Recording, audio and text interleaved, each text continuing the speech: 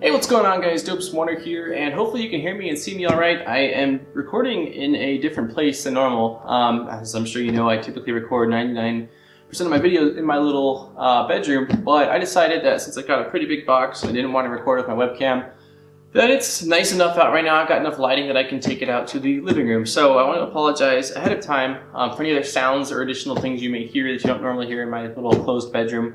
Uh, basically what we've got in front of us here is a uh, 3D printer kit. It is the RP9V2 from a company or a gentleman uh, named Bob. Uh, his company is Bob CNC, which I will place a link in the description um, so you can take a look. But basically, um, Bob makes really awesome 3D printers, and uh, basically the frame is all like a, it looks like CNC milled. From what I can see, it's primarily made of wood, with the exception of any like um, you know metal rails or rods you might need, and obviously the electronics.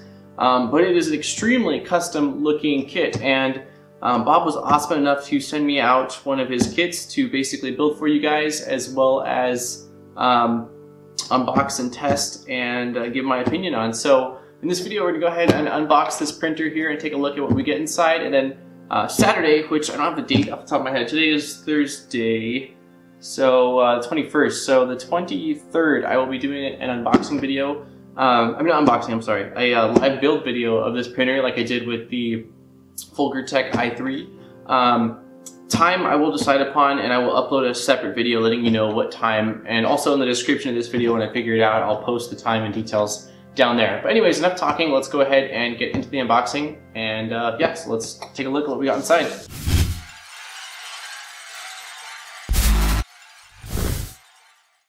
Thing that really caught my eye about these printers, or this printer, was just the amount of custom look, really, like the, the use of wood is insane.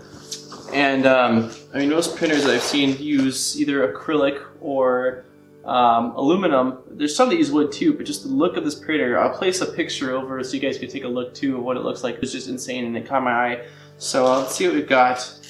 We've got a ton of little wood parts here, which looks like, um, looking like stepper motor mounts, potentially extruder mounts.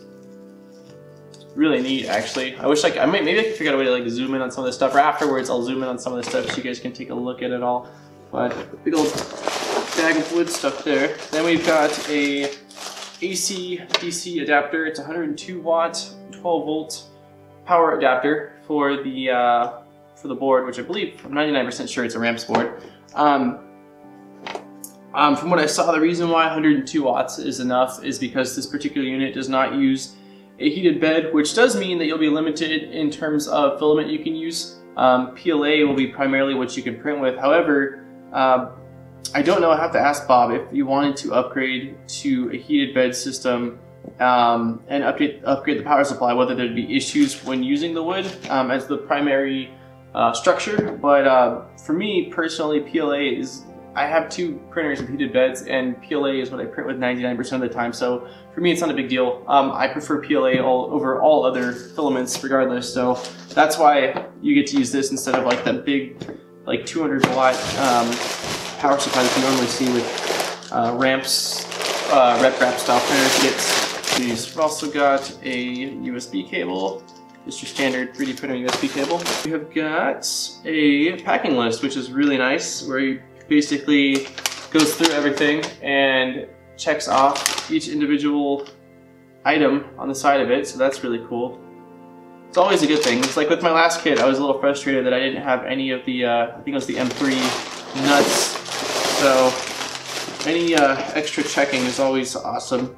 We have got a Bowden tube which is awesome because the extruder uses, from what I saw, a Bowden setup, which is really neat for me. Um, this is something that I've actually wanted to do for a while, um, install a Bowden extruder on one of my printers, and I just have not done it. So this will be my first printer with a Bowden setup, which will be really exciting to, one, set up, but two, um, kind of check the difference in quality and speed in terms of using a Bowden setup versus a standard, um, basically direct drive extruder. So Got a bunch of zip ties, which I love. Great for cable management.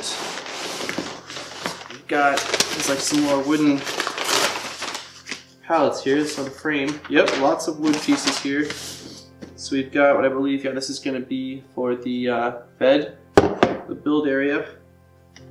Pretty much looks like most of the most of the frame pieces are in this. I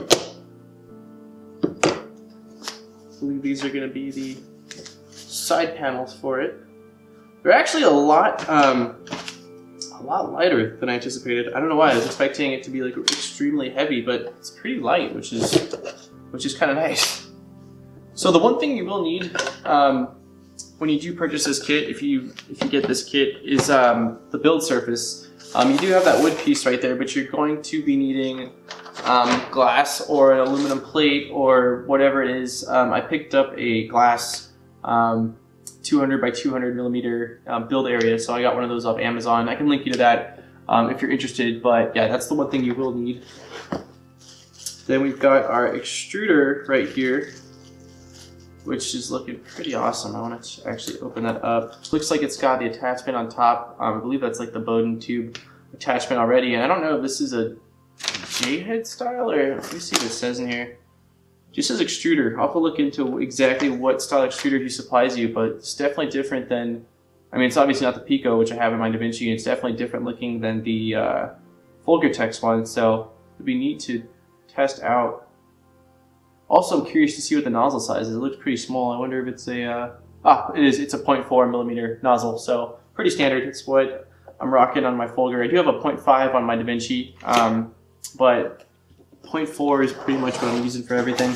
Ah, we got the electronics. Yeah, so I was right. I, I don't know why I even questioned myself, but we've got the um, RAMPS 1.4 board with the Arduino already connected to each other.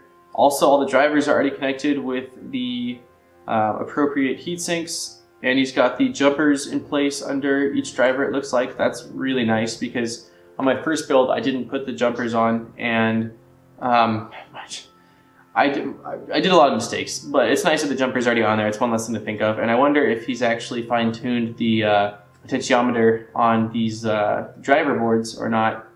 Um, so regardless, though, I think I saw that the the firmware was already pre-flashed on here, which is nice. I'll have to double double check that, but um, yeah, it says with firmware installed, so that's that's really cool. That's awesome. Definitely one less step for people that just want to get their printer up and running as soon as possible. And then in this bag we have got, looks like some bearings, some more zip ties, some smaller zip ties. We've got some uh, some nuts, some screws, uh, and I'm not sure what those are. Those might be uh, tensioners. It's basically our bag, bag of hardware right here is what we've got going on. The only pieces I'm not sure of are the wood pieces, but those look like, um, they're not tensioners, they're called. They could be spacers. They look like they might be round spacers, because there's four of them, so that's probably what the wood parts are in here. But I'll figure it out as I build it. We'll, we'll see all that good stuff. Then we've got end stop switches. Yep, end stop switches, which are already wired up, which is awesome. Just literally plug them in and put them where you need to go. That's freaking sweet. These aren't the, uh, these are not the same end stops that I've used for my DaVinci and my um. These are like kind of generic style end stops, but they are pre-wired, which is awesome. So if you aren't big on soldering, I don't know what you, you might not even have to solder for this at all. He's definitely like done some things to make it easier on you, which is nice. Then this feels like rods. Yeah, drilled rod and threaded rods. Let's see. I definitely like that there is some uh, labeling on this stuff. That's awesome. Um, that was one big gripe with the last kit I put together was that there was not much labeling at all. So yeah, we've got our smooth rods and our two threaded rods right here. I think there's even some labeling. Yeah, he even did some labeling on the actual nuts and screws in here, it looks like. Some of it smeared off, but definitely nice that things are things are individually packaged in here, and that is huge. Um, on the last kit, everything was in one bag, not in individual bags like this, just one bag, all combined, and um, there was no labeling whatsoever, and it took me forever just to separate all the things into like my little screw tray, which I'll still do with these, just for it makes it simpler when building. But it, it was kind of just stressful having all that stuff. Some more zip ties. And I think that's it. Yeah. Let's go ahead and. So this has got one, two, three, five different stepper motors, and these are actually significantly beefier than the ones from my last build. I think there was one stepper motor for the Y-axis on the Prusa I built that was this size, and the rest were smaller. This, these are huge. These are freaking massive monster. It says, uh, wow, these are crazy. So I wonder, having bigger stepper motors like this, whether that's going to help with speed or what exactly that's going to do. But that's these are neat. I wonder if it says uh, stepper drivers. No, it just says stepper motors five. It doesn't say the details on like what exactly they are. But these are these are beefy, really beefy, and they're awesome, awesomely packed all nicely in here um, to prevent damage during shipping. So, so I'll go ahead and get some close-up shots of all this stuff for you guys so you can see it because I know this is kind of a further away um, video than normal. Um, but once again, this is the RP9V2 from Bob CNC. Really awesome looking kit that I cannot wait to put together for you guys. Um, so I'll go ahead and get some close-up footage of this stuff for you guys so you can take a look at the kit. And again, link will be in the description if you're interested in either finding out more or purchasing. And um, I don't know if I said it already, but if not, then uh, I just want to definitely say a big thank you um, to Bob for supplying me with his kit um, to be able to build and review and test for you guys. Uh, really awesome of you, and I'm extremely, extremely excited to build this guy on Saturday for you guys. So on that note, uh, Dopesoner, as always, thank you so much for watching, and I am out. Peace, guys.